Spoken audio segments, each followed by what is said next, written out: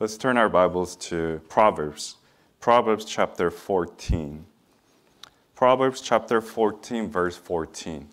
We're going to look at a verse. Proverbs chapter 14, verse 14. Title of the message is Are You Backsliding? Are You Backsliding? Proverbs chapter 14, verse 14. Proverbs 14, verse 14.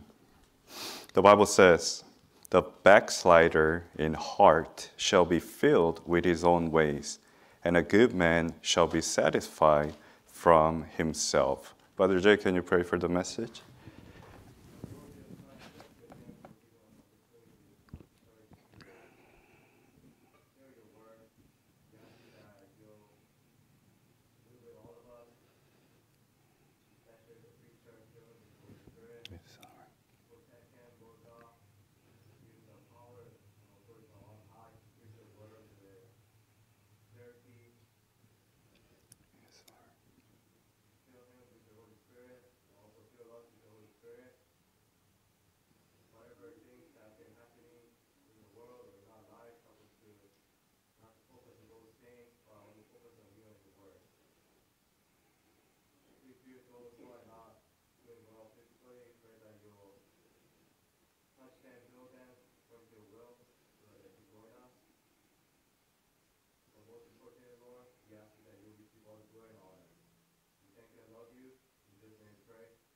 Amen.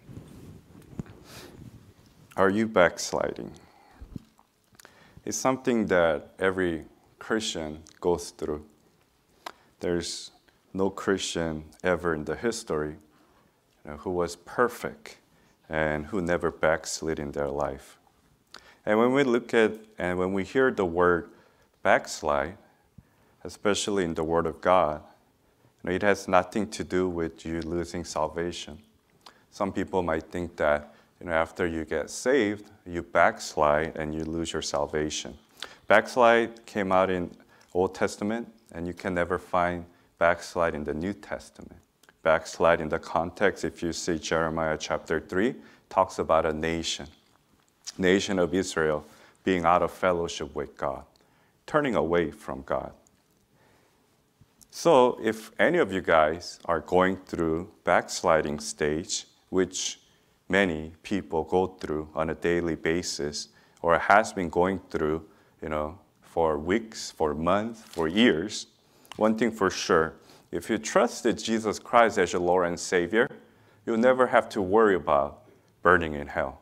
You know, that's a heresy that's, you know, come out, people, you know, wrong doctrine, those cults, you know, they say, you know, once you're saved, you're not always saved, you know, because they're messed up in the Word of God.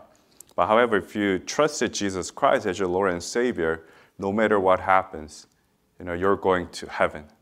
You know, you could take first class, you could take you know, economy, you could be dragged, but you're going to heaven no matter what. You know, praise God for that. But when it comes to Christian, you are backsliding if you are plainly out of fellowship with God. If you are out of fellowship with God, you are backsliding. Your heart has turned away from God, just like Solomon, when his heart turned away from God. Many of you guys don't realize, or you do realize, that your heart has turned away from God. Does not mean that you're not saved, you're saved. However, because of your current spiritual state, you have turned away from God and you're in a backslidden state. Then, how can I check? How do you check that whether you're backslidden or not? A few things. Number one, you're growing cold and losing interest in the Lord. If you are growing cold and losing interest in the Lord, then you're backslidden. When you think about Lord Jesus Christ, when you hear about Lord Jesus Christ, when you preach about Lord Jesus Christ, when you pray to the Lord Jesus Christ, have you lost interest? Is your heart cold? You know, a lot of times relationships expire or gets worse and relationship doesn't last anymore. Why? Because people grow cold against each other. You know, there's an illustration. There's a husband and wife. You know, they used to love each other so much. However, wife feels that, you know, love has grown cold, right? So she asks the husband, Do you still love me? Do you still love me like when we got married? Before we got married? Right after we got married? Years have passed by. I don't feel the same love like before. And the husband said, Look where you're sitting right now. Look where you're sitting. So, come to find out, husband sitting right here and wife is sitting right here. She used to be right here, always sat next to him. But years have gone by, and she's, she's further and further away. Husband said, I never moved. I never moved, honey. And she realized, man, I'm the one who's been moving away. When you trusted Jesus Christ, you accepted Him as your Lord and Savior, He's your first love. He's always there. He's always here. It's just you and I. You know, we used to be here, but we're straying away little by little. For some of you, you have gone so far where you can't even see Him anymore. And you still complain, Lord, Lord, where are you? He's always at the same place. He's always at the same place. It's you who's backslidden away from the Lord. A lot of times, when your heart gets cold, you have no interest. Think about it. When you don't care about someone or thing, you don't really care about hearing about it, right? They're not in your thoughts. If you say you despise, hmm, what should we use it as an example? Say you despise certain food, right? For example, there's a fruit called durian. And I don't know if you guys have tasted durian. It's in Southeast Asia. You could find it, you know, in Philippines and surrounding areas. And you could still find it in some Asian markets here. It has a terrible smell, you know. Thankfully, I haven't smelled it yet, but I kind of know how it smells based on what other people say, how it smells like. You know, it smells like, you know, poo-poo, you know, they say, right? It smells like dung, you know, and it's a quiet taste. And that's not something, you know, I think about on a daily basis, right? Okay, I can't wait to try durian today. I can't wait to try durian tomorrow. I can't wait to try durian with friends, you know, when we get together. Why? Because it's not something that, you know, you want to think about. However, when it comes to like nice apple, right? Fuji apple, right? You know, some people like apple, you know, apple away take, uh, keeps the doctors away. And I like, you know, good apple. For some people, it could be like, you know, some strawberry, you know, or nice coffee, morning coffee, right? Some of you guys wait for that morning coffee. You know, that's how you start your day. Like that's how you wake up. And you'll never grow cold against that morning coffee because it's something that you think that you have to have it, you know, to survive. However, when it comes to Lord Jesus Christ, you start losing that interest if you haven't already. He's not the first morning coffee that you want. He's like the last thing, you know, after you've done everything, right? You know, after you drank your coffee, after you got to work, you started your work, after you got to school, and after you're done with everything, and then you start thinking about Lord Jesus Christ, if you even do. I mean, what does that tell you? You're cold, and you're, you have lost interest in the Lord. I mean, that's simple, right? Simple enough. If you don't have interest in the Lord, and if you've gotten cold to the point it's like rock solid ice, then you know when you hear about Lord Jesus Christ, when you read about Lord Jesus Christ, when you pray to Lord Jesus Christ, it's just cold. It's like you don't feel anything, right? We're not talking about being charismatic, you know, getting saved with feelings. No, not about that. You just don't have that desire. Your heart's so cold. And you're like, how do I know? How does that feel like?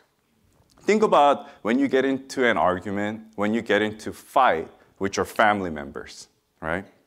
Think about it, right? Whether it's with your wife or husband, whether it's with your you know, children, brothers and sisters, right? You have a huge fight. And right after the fight, you know, unless you're one of those rare ones re- realizing it quickly, you feel cold towards them. You also have like an anger towards them. Maybe anger part, you know, dissipates, you know, but you still have that coldness. Like when you see each other, you don't really want to make eye contact, right? And you don't want to talk to the person until the person talks to you like, oh yeah, I deserve an apology, you know. You did wrong. She did wrong. He did wrong. And they feel like there's no way I'm going to talk to that person. They're so cold, right? They're not going to be warm towards me. As Christians, when you deal with Lord Jesus Christ, that's how you are. You've lost interest in the Lord, where when Lord's still there, you don't want to get closer to Him. You feel that coldness. And that definitely tells you that you're backslidden. It's not about size of interest that you have in the Lord. We're not talking about you thinking about Lord Jesus Christ every moment of the day. I wish, right? But you do have your work, your school, you have other things going on but is it consistent, consistently on your mind and in your heart? Do you really think about Him? You know, He died for you, He died for me. If some loved ones, right, you know, we compare it to human love, where if someone loved you so much that they died for you, say for example, you know, we just had Mother's Day. You are on a train track and your foot is caught on the rail, and the train is coming at you at 200 miles per hour, and you're about to die. But however, your mom saw you and pushed you out of the way. She got hit by a train and she passed away. Let me ask you are you not going to think about your mom every single day of your life? You will. Are you not going to talk about your mom to others, the love that she showed you to others every single day of your life whenever you have opportunity? You will. It's just that when it's like a carnal physical things, you remember and you talk about. However, when it comes to spiritual things, especially Lord Jesus Christ, who saved you from hell for eternity, think about it. You're not going to burn in hell for even a second. You'll be in heaven forever. And He shed His precious blood, every single drop. And He had to go through the most unimaginable pain and suffering for you and me. And that's someone that you're losing interest in? Man, if He was like right here, and if he was like listening, or if someone else, third party who's not saved, heard that that's how you feel about Lord Jesus Christ, who saved you from hell, they call it, they'll point at you. They'll be like, shame on you. Shame on you. I mean, I don't believe in Jesus Christ, but if he's the one that you claim him to be and who sacrificed himself for you, and you don't think about him on a daily basis, and you don't talk about him on a daily basis, then man, shame on you. But for so many Christians, I would say 95% and above has lost interest in Lord Jesus Christ. They don't think about him. And you don't think about him. I mean, did you think about Lord Jesus Christ when you're coming to church today? If you don't think about him during Sundays, I could just see that on a weekday, you don't think about Lord Jesus Christ at all. If you barely think about him on a Sunday, what does that tell you? You have grown cold and losing interest in the Lord. That's number one. Then, secondly, how to check it. And it snowballs now. You have lost interest in the Bible. You have lost interest in the Bible. You don't read the Bible like you used to, if you even have started it in the past. Things of the Bible doesn't interest you anymore. When you used to read the Word of God, and every word was alive to you, and you got so many things out of it, and they really touched you, you learn more about Lord Jesus Christ. You learn more about the doctrines. You find the will of God through the Word of God. Those are the days, right? You know, they say dog days of summer. They use it like in a baseball term where it's so mundane, it's like lazy, nothing's happening. It's like Groundhog Day, same day over and over and over. It's like you're robots. You just go through each day. A lot of backsliders are like robots, literally. You know, they lose interest in the Lord and they lose interest in the Word of God. So it doesn't help anymore. Like Bible is the last thing they think about. You know, and when you wake up and the things that you do shows what you care about. I mean, that's how I believe, right? You might think otherwise. Because it shows the first thing that comes to your head, comes to your mind. When you don't think about Lord Jesus Christ, how will you be thinking about the Bible? Have you read your Bible lately? Have you been reading your Bible like when you first got saved? You know? No one here can say that I read enough Bible. How can you, right? I mean, you say, oh yeah, I, I read three chapters a day and I'm doing my all, right? Is it really? I mean, it's like just for young kids, you have to because you gotta get your parents' signature or else you get, you know, scolding and spanking, right? Besides from it, do you ever read more than three chapters? Man, you're like, okay, each chapter takes me five to 10 minutes. So I read two chapters. I only got five, ten minutes to go. Man, I'm at the last couple verse. Yes, I'm free. Man, you close your Bible, you throw it away, and you do whatever you want. Or for some of you, especially adults here, you don't have requirement to read the Word of God. Do you even read it? I mean, that's the question. Do you even read your Bible on a daily basis? Like some people might say, you know, that is, that is not a smart question. How can you tell, or how can you ask someone who's saved, you know, who trusts the Lord Jesus Christ, their Lord and Savior, that they don't read the Word of God? You know, like when outside people see it, they'll be like, man, that shouldn't happen to a Christian. They're telling me that they love the Lord, they want me to trust Christ as their Lord and Savior. But when I ask them about anything, they don't know anything because they don't, they don't ever read the Word of God.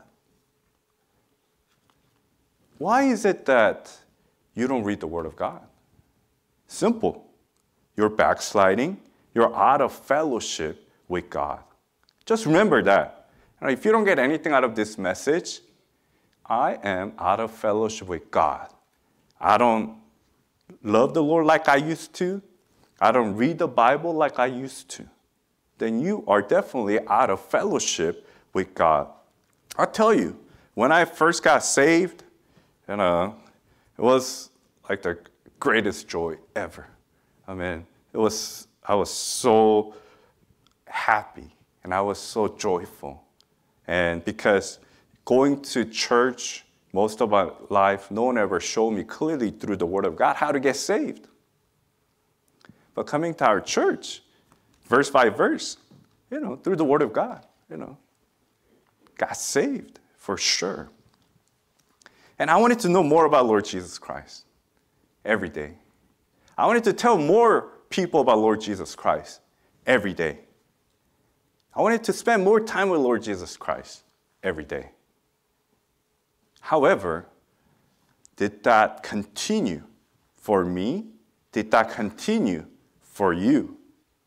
I'm honestly to tell you, it did not. You know, just like you, I'm a human being. Just like you are a human being to everybody else, we go through our backsliding, backsliding stages, where our love for the Lord grow cold, when we don't read the Bible like we used to, or if not at all. So think about it. Do you read your Bible?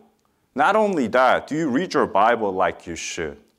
You spend time in the Word of God? You know, don't say, I read three chapters, I'm done.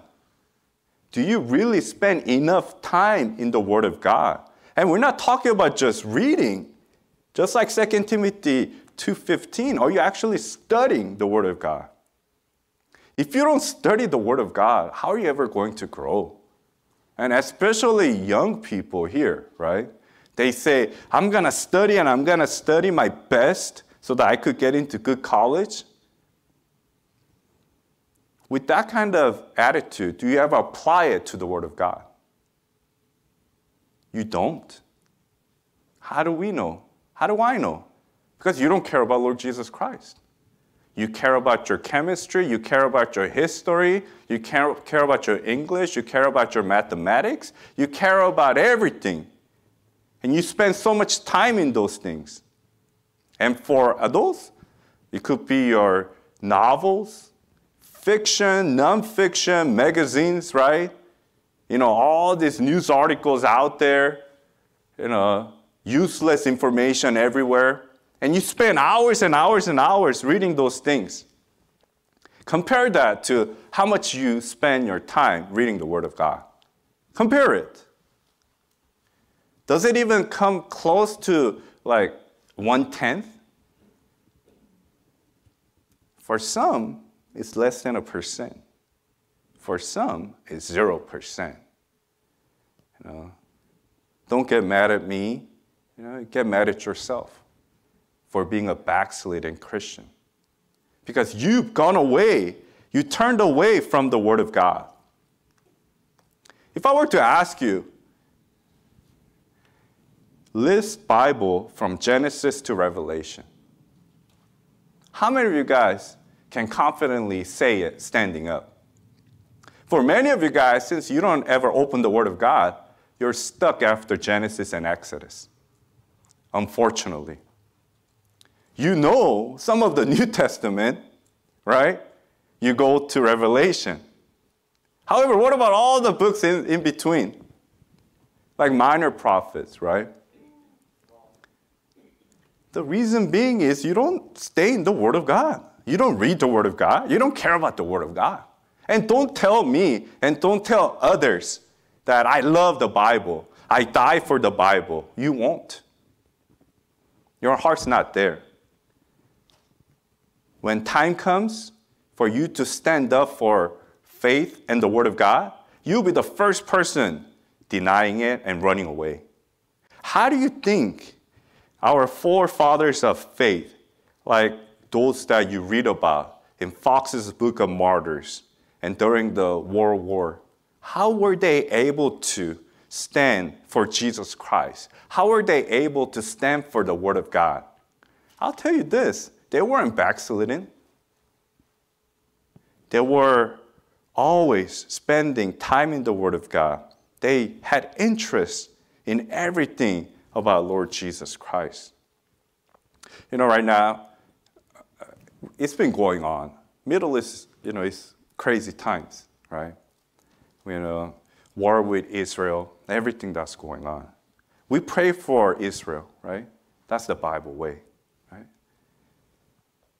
And you know that end is coming near too. We don't know when. We're in the last days, right? And then you see all these prophecies getting fulfilled, right? And we're getting closer and closer to the Lord's return. And aren't you excited?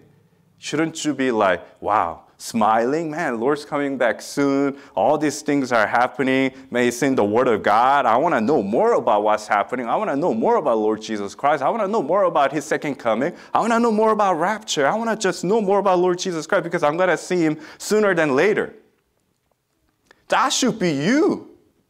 If it was about your favorite sports franchise, you'd be talking about it over and over. If it was about your favorite celebrity or politician, you'd be talking about it over and over. A lot of people who's into politician will know everything, every detail about a politician that they love, right? Whether it's conservative, whether it's liberal. Every person who loves a sports, if they like basketball, they'll know everything about that team, or baseball, basketball, football. Or every person who's into social media, who likes us, some personality, they know everything about that person because you follow that person. You know their you know, day-to-day life and everything because you have that love and interest for them. However, when it comes to Lord Jesus Christ and the Word of God, you're far away from it. When was last time you think you had the same desire to read the Word of God like how you love to read one of your favorite things? Whether it be, you know, your Facebook stuff, social stuff, Twitter stuff, right? Or any other stuff. You know, for some people, they can't wait for someone's tweet, right? Or TikTok or anything. I guarantee you, those of you guys who's really into it, you never miss a day of someone who posts it, right?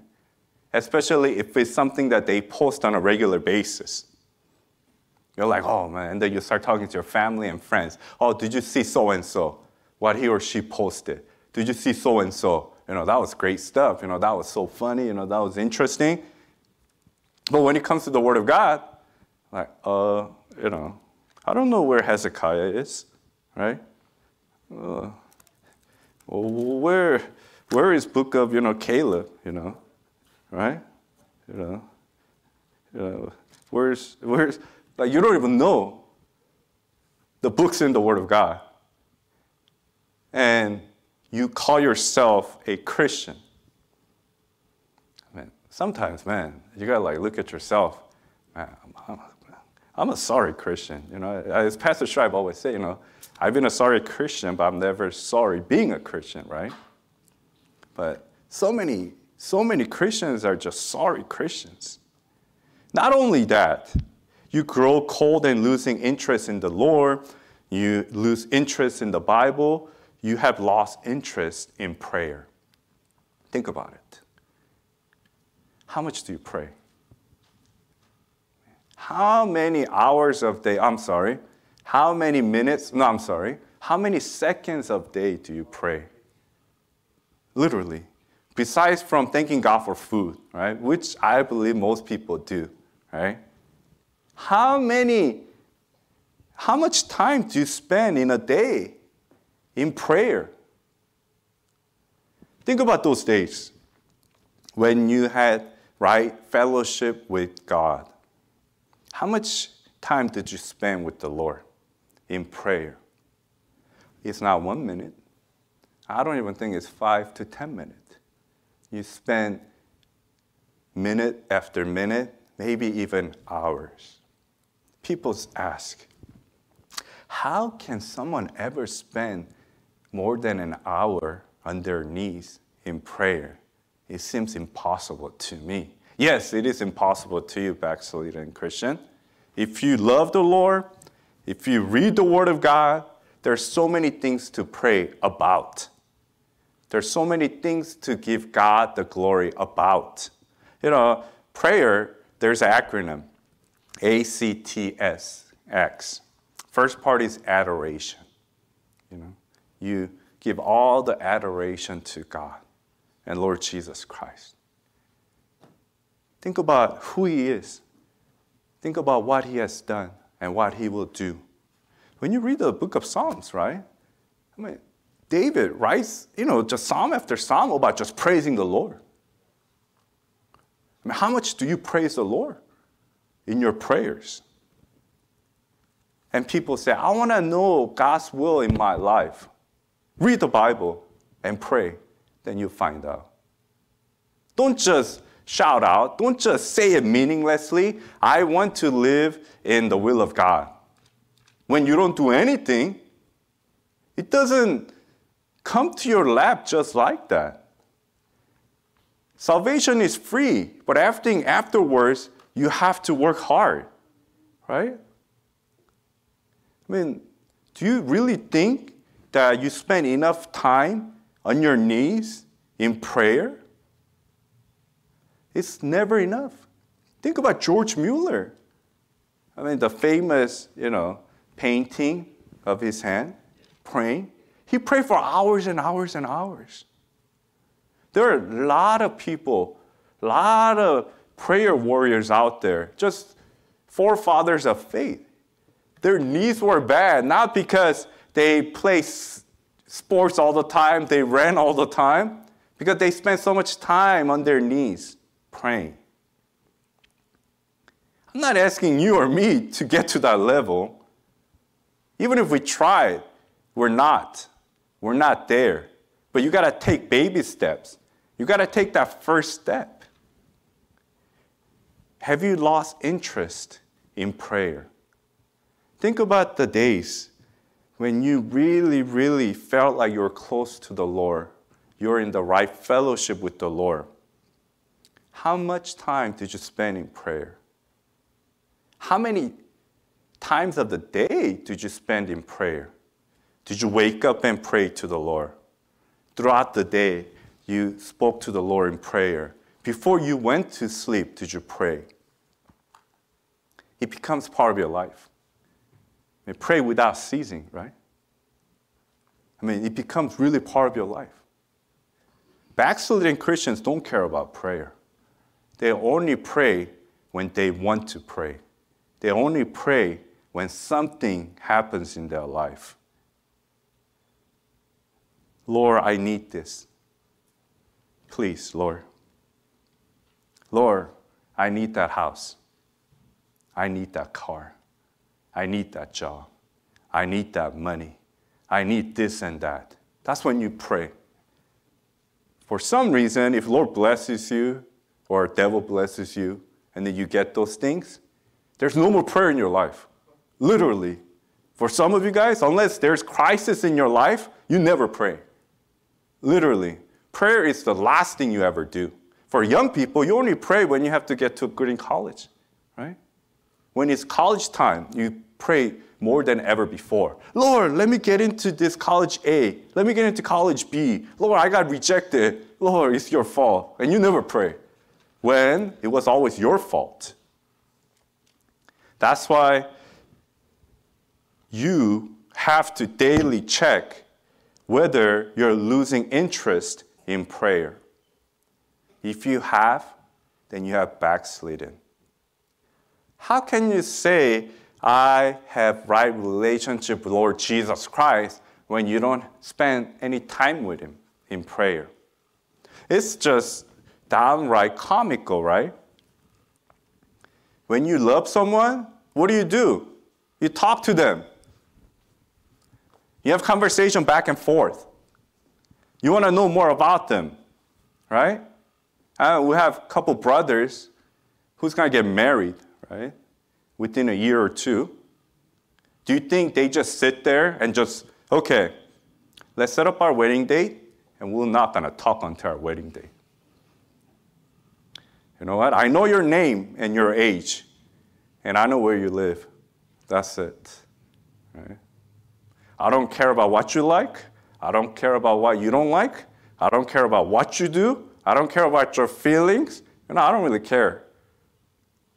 Let's just get married and that's it. Okay, that's not going to work. That is not going to work. You'll be talking to them, you'll be reading about them, right? If you can, and then you'll be constantly in conversation with them. But when it comes to Lord Jesus Christ, why is it so hard? Right? He's your first love, right? He's your first love. And it's that love everlasting, it goes forever. Why is it that you don't talk to the someone that you love? He's still sitting here, but you used to be here. Man, you know what's really annoying? When you try to talk to someone, but we have distance, like me and you know brother Andrew back there, right? Having conversation from here to back there will be pretty tough, especially without the audio system. I'd be like, Andrew, how you doing? Like we have to shout and shout, and then most of the time we're gonna say like, oh, what did you say? What did you say? Hey, what did he say? You know. That's how far you've gone further away from the Lord. It's like Lord's telling you something, but you're so far away and backslidden that you can't even hear him anymore. Right? Holy Spirit is convicting you of everything. Okay, it's time to pray. It's time to pray. You just woke up, man. It's time to pray, you know. Let's be filled with the Holy Ghost today. No. You're so far away, like you're all over there, you can't hear nothing. It just tells you that you backslid to the point where prayer is not part of your life anymore. Reading Bible is not part of your life. Things of the Lord definitely is not part of your life. And fourthly, what happens? You lost interest in going to church. You lost interest in going to church. I mean, I could say you guys are here, so I'm pretty sure you still have interest in coming to church. But is this something that's going on every time when the church's door opens, right? For some, going to church is something that they feel like doing when they need help from the Lord. Like, oh, Lord, nothing's going well in my life, so I'm going to go to church today. For some, when everything goes well, they don't come to church. Like, oh, Lord, thank you for your blessings. I have, you know, internet to watch your sermons. So I'm okay. You know, directly disobeying, you know, Hebrews 10 25, assembling together. You're like, Lord, I'm okay. I'm gonna go fishing, you know. I'm gonna be on a nice boat up there, out there in the ocean, giving glory to you, and I'm just gonna try to catch some tuna. You know? yeah, and then you're like, wow, what a great Sunday, right? Tells you you're a backsliding Christian. If you don't have interest in going to church, just remember, you're directly disobeying the word of God. Hebrews 10:25. That's it. Not only that, it just tells you you rather be with someone or people who's not interested in the Lord Jesus Christ. I don't know what your heart looks like right now, but I know that at least some part of you have interest in the Lord Jesus Christ. That's why you're here. But think about those days when you're not here. Is it because you can't move? Or is it because you don't have that same interest in the Lord Jesus Christ on those days? You haven't read the Bible like you're supposed to because you didn't pray like you were supposed to. That's why you lose interest in going to church. If I love my brethren, I want to spend more time with my brethren. If I love the Word of God, I want to listen to the Word of God as well. If I love praying, I want to pray together with my brethren where you could pray. However, for some of you, going to church is the last thing that you want to do. Think about people who's listening to this message throughout the world. They don't have a local church to go to. And pray that, you know, they, you know, God calls someone and start a church in, you know, our brethren's area throughout the world. But for you, you have no excuse. You have a place to go. You have a local church to go. But because you're backslidden, you don't have that desire anymore. You lost that interest. Not only that, fifthly, you cease to witness. I really haven't seen too many backslidden Christians who loves to go out there and witness for Jesus Christ. They can even take care of themselves. How do you think you're going to be able to witness to others? I mean, do you have desire to see souls get saved? Do you want to witness to others about Lord Jesus Christ? At one point in your life, did you actually were on fire to witness for Lord Jesus Christ?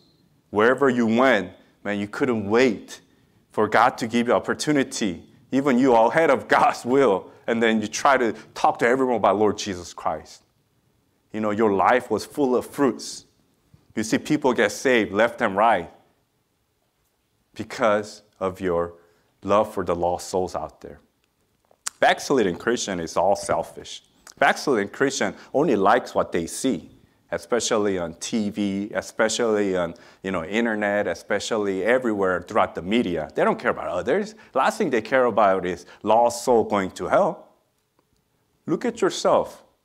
Do I have love for the lost souls out there? When was last time I witnessed to a soul about heaven and hell, gospel of Jesus Christ? I mean, you cease to witness. And lastly, you know, backsliding state, you turn to the world for help. You turn to the world for help. When their problem arises, you don't go to the Lord, you go to the world. When problem arises, you don't go to prayer, you go to a psychiatrist. When problem arises, instead of going to the Word of God, you go through every other solution out there. Isn't that common for backsliding Christian? You turn your help to the world. That's it. I am going to call 1 800 blah, blah, blah. I'm going to call 1 800 blah, blah, blah. I'm going to go to this place, that place. I'm not saying, you know, for things of that nature, you don't go, but you always go to the Lord first. You turn to the Lord for all your help. Before your eye surgery, right? Before your cases, before your work, before your schooling, everything, you turn to the Lord first, not to the world. As a backsliding Christian, you are definitely going to go to the world first. Isn't it funny? First thing you do is, you know, open your phone. You Google, okay, I have this problem ABC. Where's the solution? CDF, where's the solution? Instead of going to the Lord. And when the world gives you help, that doesn't help you, then you start blaming God. God, they didn't help me. I thought you loved me as a child. God, she didn't help me. He didn't help me. That organization didn't help me. This nobody ever helped me. How come you say you love me? I didn't get help. But you look at yourself. You never went to him in the first place. You always go to others for help instead of the Lord Jesus Christ. You always go to outside help when you have help inside of you. You always go somewhere else when the help is closest to you. Then you know you're in backslidden state. Then how can you get out of it? I mean, how can you get out of it, right? First thing is that you have to reckon yourself dead to sin. You have old body and a new body. When you trusted Jesus Christ, you became a new man. Mortify your old body. Consider it dead. Right? I use it over and over. Who's going to rule over your heart? Is it going to be you or is it going to be Lord Jesus Christ? And in conclusion, I'll conclude with this. Very, very famous verse, right? Let's turn our Bibles to Hebrews chapter 12. Hebrews chapter 12. Think about the state you're in right now as a Christian. Have you lost interest in the Lord? Have you lost interest in the Bible? Have you lost interest in prayer? Have you lost interest in going to church, having fellowship with brethren? Have you lost will to witness to lost souls out there? Have you turned to the world for help instead of the Lord? Their solution. Hebrews chapter 12, verse 2. Looking unto Jesus, the author and finisher of our faith, who for the joy that was set before him endured the cross, despising the shame, and he sat down at the right hand of the throne of God. You need to set your affection on Lord Jesus Christ. When he becomes number one in your life, you could get rid of your backslidden ways. When he becomes number one in your life, you want to spend more time with him. When he becomes number one in your life, you want to read more Bible. When he becomes number one in your life, you want to be with people who's the same Savior and Lord. When he becomes number one in your life, you want others to know more about him. When he becomes number one in your life, you go to him for any help, any issues, for any occasion. Are you backsliding? Let's pray. Dear Heavenly Father, thank you for saving us from hell through the precious blood of our Lord and Savior Jesus Christ. However, we have left the first love, our Lord and Savior Jesus Christ, and we have gone into this backsliding state. Lord God, I pray that everyone will recognize whether they're backsliding or not and get right with you, Lord, confess our sins, mortify our body, and really look unto you every single day, every moment of the day, so that we will have and will be in fellowship with you. So many of us, so many of us are out of fellowship, Lord, because of things of the world, because of everything, issues of life, Lord. Help us to just come before you honestly and just leave it at your feet and just get closer to you, Lord. Help us to find that first love we used to have before we backslid, Lord. We pray that you be with Pastor Shrive and everyone who needs to get healed completely, Lord. Please be with them. I pray for every member here, Lord God, and people who's listening, be with them as well. And then anyone who's you know, having issues with their salvation, Lord God, help them to really get assurance of salvation through the Word of God. And I pray that we'll all get out of this backsliding stage putting you as our number one. In Jesus' name we pray. Amen. All right, thank you, everyone.